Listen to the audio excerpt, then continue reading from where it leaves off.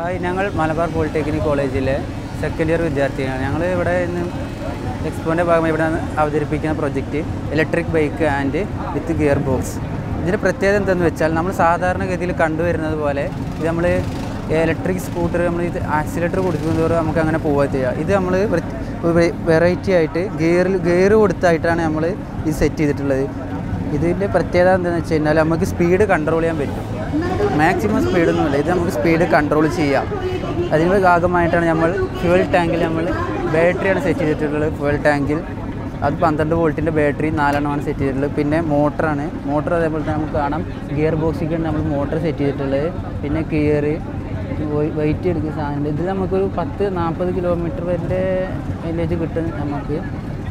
പിന്നെ ഇതിന്റെ ഭാഗങ്ങൾ നമുക്ക് ഓരോ നോക്കുകയാണെങ്കിൽ തന്നെ മോട്ടർ പന്ത്രണ്ട് വോൾട്ടിന്റെ മോട്ടറാണ്. ചെയിൻ ഗിയർ ഗിയർ ബോക്സിലേക്ക് നമ്മൾ നേരിട്ട് ചെയിൻ മോട്ടർ കൂടി കണക്ഷൻ കൊടുത്തിട്ടുള്ളത്.